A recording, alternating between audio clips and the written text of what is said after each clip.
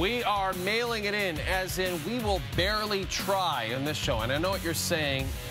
When do you guys ever try? And the truth is, well, you're right, we don't. But we're going to try even less on this edition of Sports Center with Jay and Dan. I'm Jay. That's Dan. Dan, the Toronto Maple Leafs. What a start to the season.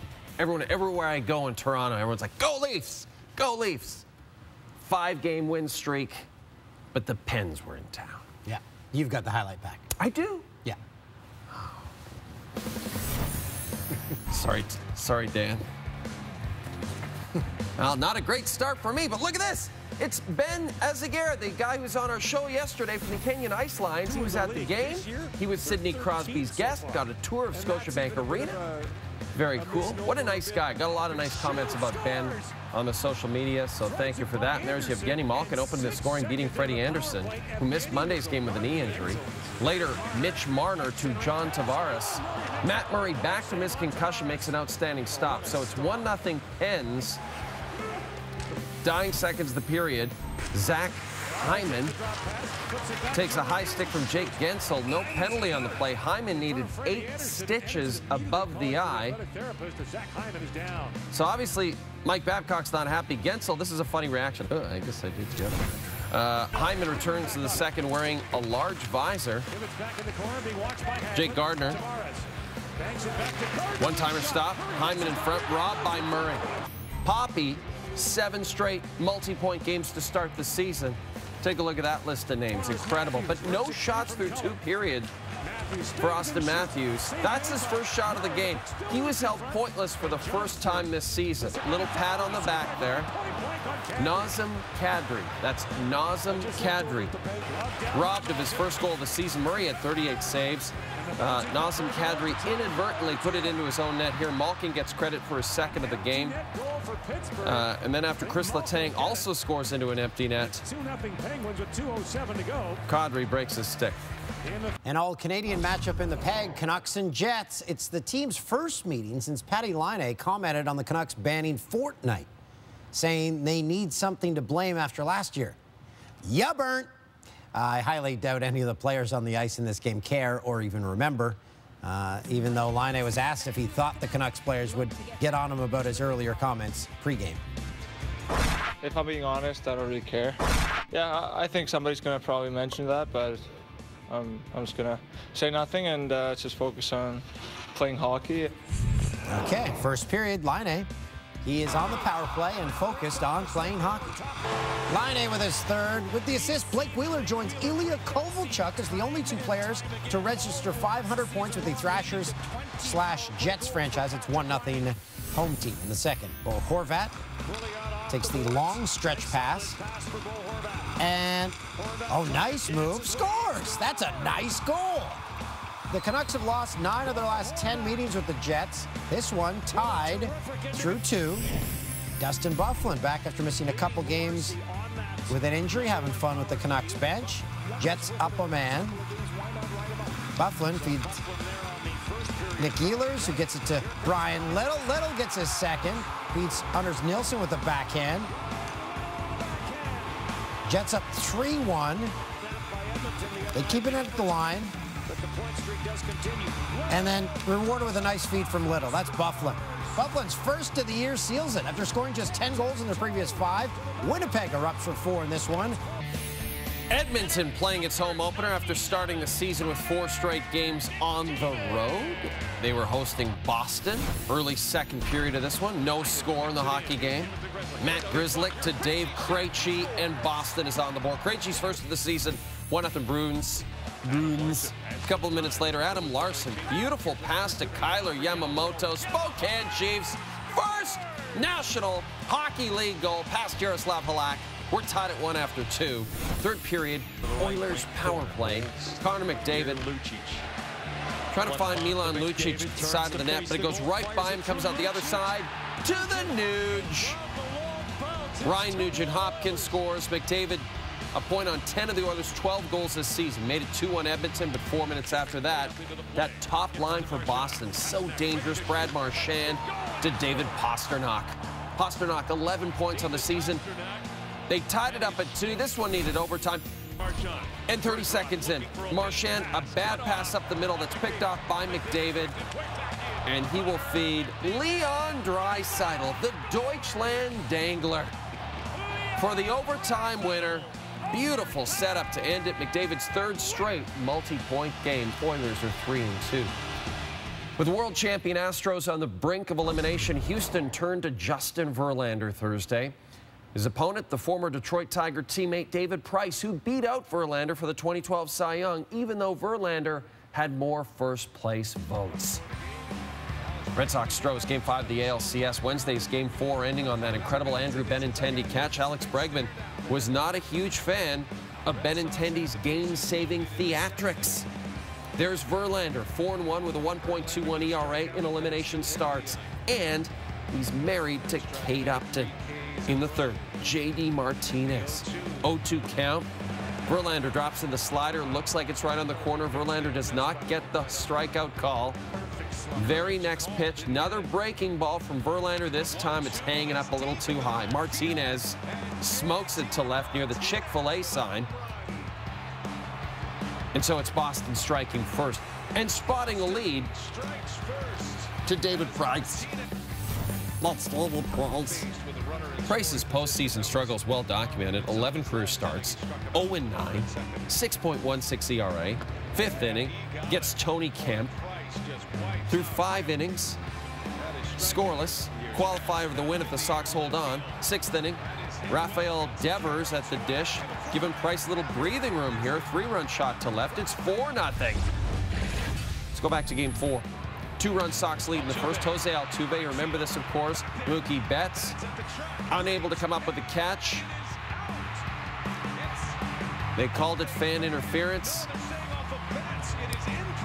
Said the fan closed his glove, prevented it from getting the out. I think that's I think that's just a terrible, uh, terrible call, personally. Oh, okay, that's it.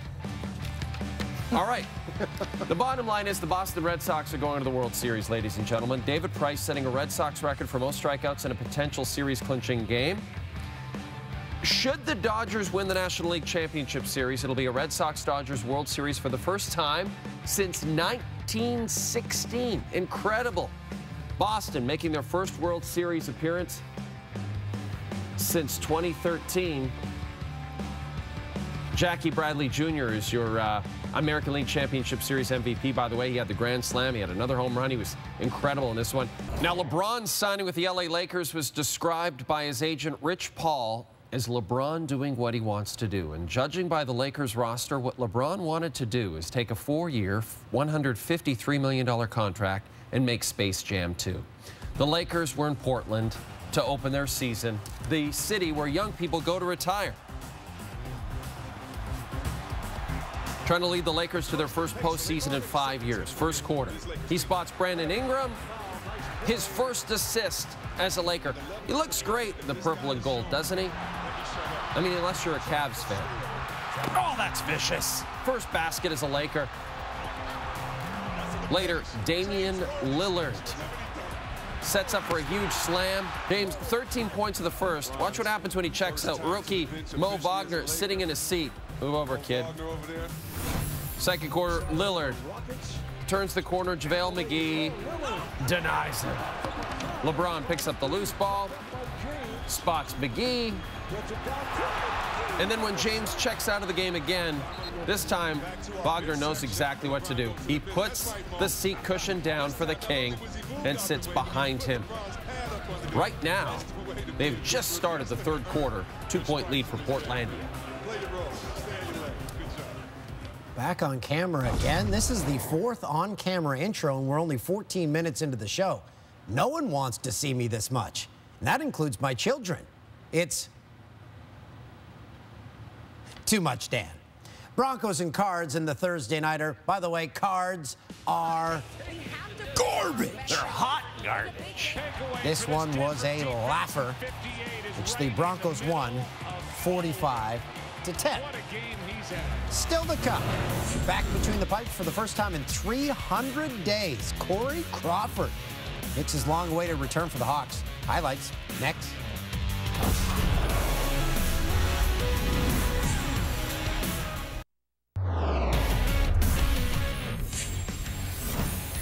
Flyers, Blue Jackets. I'm not in favor of that goal call. Duclair with a spectacular solo effort gets his second of the year. That is a beaut. Our buddy Sergei Bobrovsky is not a fan of the league's new streamlined goalie equipment. He said this week, you start to be afraid of pucks. You get bruises. It's terrible. It's a biggie. That's a nice big cup of Tim Hortons there. Sean Couturier sends it on net, and You're off the case. Head in your weed breathalyzer. He gave up three goals and 35 shots, but second period, Cam Atkinson. This is a gorgeous goal here. Watch this. Oh, that's nice. Beating Calvin Pickard, second of the game. Jackets double up. Philly.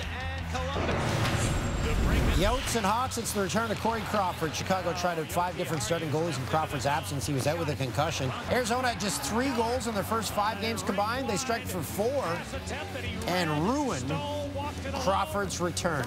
I love Crawford's all-black gear. Very Yeah, and it's just good to see him back playing. It is. He had a, know. yeah. He had a lot of problems getting back, and good to see him back.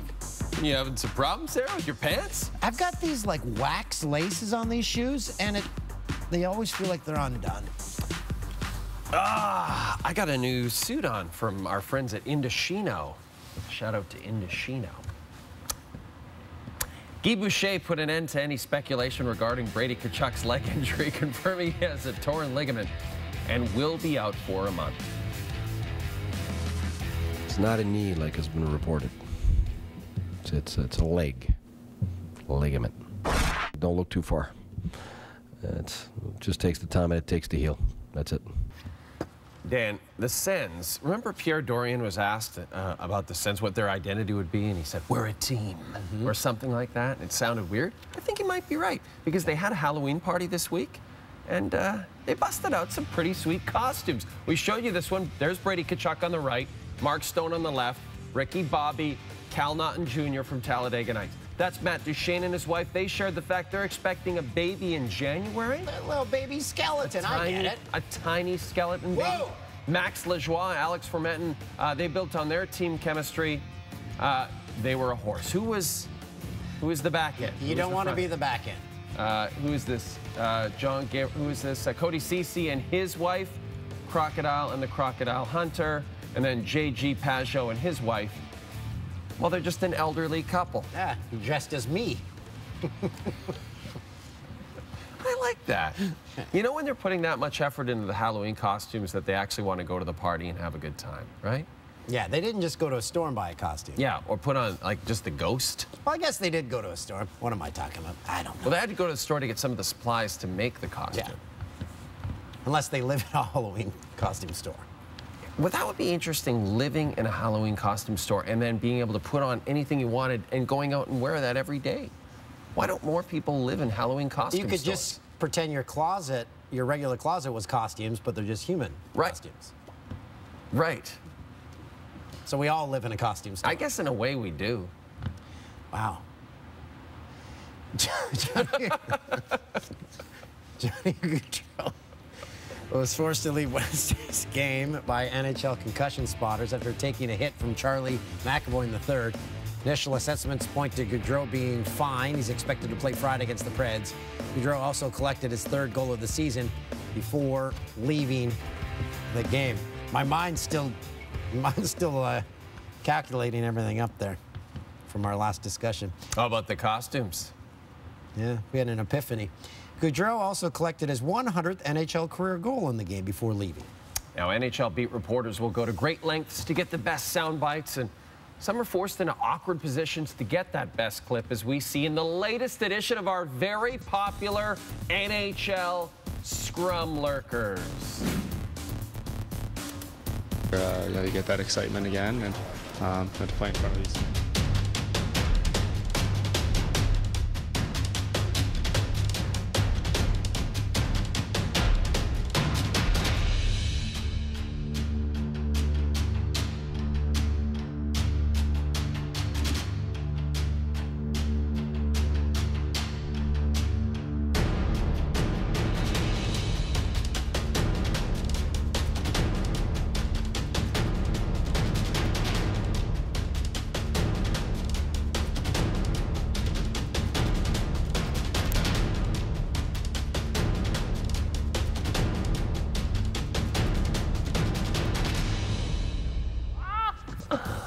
Uh, a lot of appearances there by our friend uh, Reid Wilkins. 6:30 Ched fame. Sorry. it's all from Tim. Tim is so sick right now. He can barely This is how. Tim sounds right now on the mic in our ear. He's like, "Uh, coming up, guys, this is Girl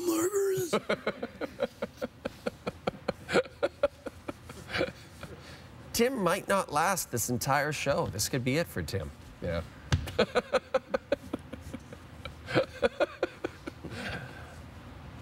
Do you think because I have a closet full of suits here at work, I could just live here at work and that could be my Halloween costume? Store? Yeah. Yes. When we come back, the greatest sports awards segment ever seen on a Thursday in October. It's the Jannies. You're watching Jane Dan, a show about Halloween costume stores.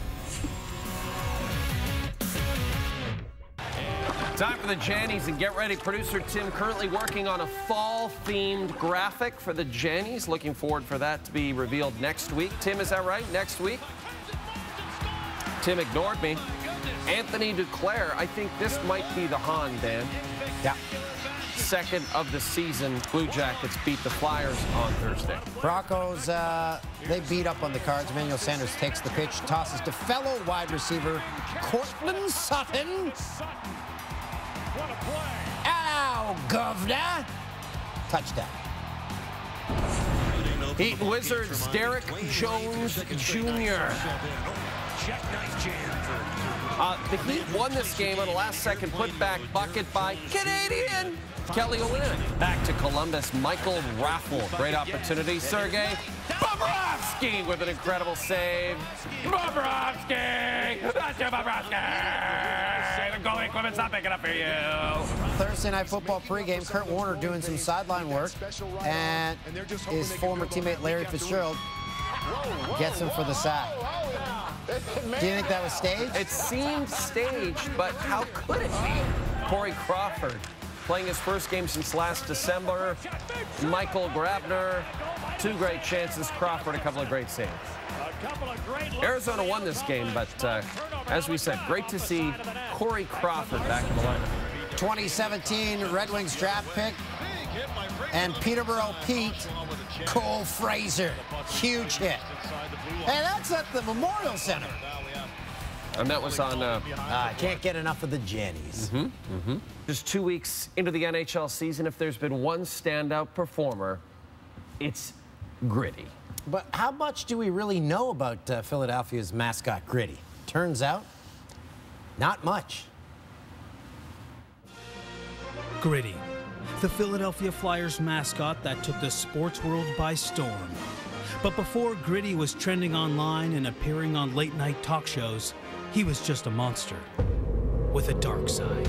People see Gritty now and they see a happy, goofy mascot, but there are some dark secrets behind those googly eyes. A story of fame, hockey, and a ton of grit. This is the story of Gritty, the Jay and Dan true hockey story. Gritty was born Gritmathy R. Tuffenstuff, just outside Philadelphia, Pennsylvania. Gritty, as he became known, was quickly abandoned by his mother. Yep, he was an ugly baby. You couldn't even pretend he was cute, and that mother, she was right to leave.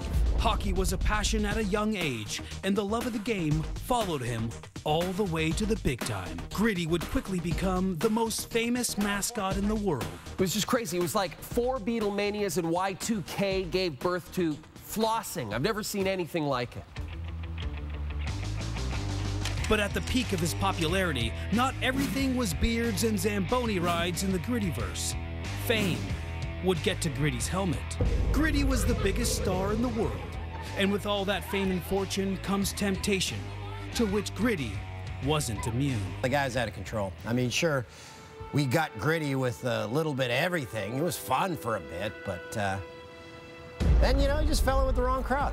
Run down and out of options, Gritty was running out of the one thing he never thought he would grit. I would get phone calls in the middle of the night with just heavy breathing and hear the words, it me on the other end of the line. And I knew it him. I knew it gritty. Then one day, Gritty showed up at a Flyers home game in the wrong team uniform. The writing was on the wall. Gritty had hit rock bottom. A stint at the Jim Henson's Muppet Rehabilitation Center. When I first saw him, days later, I couldn't believe my eyes. It was him. It Gritty. Gritty returned to Flyers practice with a new lease on life. I didn't just get some mascot back. I got my best friend, too. Welcome home, Gritty. And that's what happened in the last couple days, we assume. Poignant. oh, it, you know, it's emotional because you believe in someone and you want them to be able to come back and be successful. And, you know, that's what it's all about, is supporting people when they're down. Right. It's Friday Night Football. Friday night football tonight. Top two teams meet for the first of back-to-back games on Friday night football tonight. Tabbies, Red Blacks. That's followed by Friday Eskies. night football tonight. Hey, ladies, we got it. It's a doubleheader. One more time. Friday night football tonight. Man, I want to know how many people uh, poop their pants at those games when that cannon goes off. Oh, I don't want to know that, actually. Uh, That's if it, there, you could name something that I absolutely do not want to know. Okay. I don't want to know how many people poop their pants.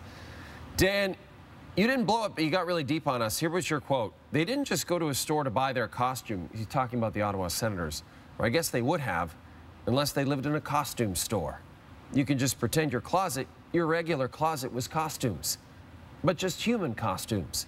So we all live in a costume store. Aren't all costumes human costumes? costumes for humans, but our clothes were dressed up as humans. Not like uh, Super Mario or something. Although Super Mario wore human clothes. Yeah, he was a plumber. That's it? That's all we blew? There's other stuff, but uh, it's too late now. Hey, it's time for Jan Dan Bloop Bloops. Thanks very much. Thanks very much, Andrew. Do you know Andrew? He works here? Dan? No. Okay, I gotta find it. We'll just wait. I'll read it off prompter. You guys mentioned last year that you continued to play in a softball league? How successful of a summer was it for Team Pete Rose and the Gambler? Preparation on this show, guys.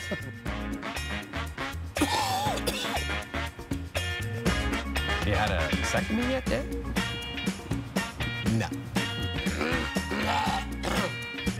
Another one for Glenn. Jenny's. We'll be back right after this, people. Everyone's got the flu. Who's playing on the Habs now? Producer Tim?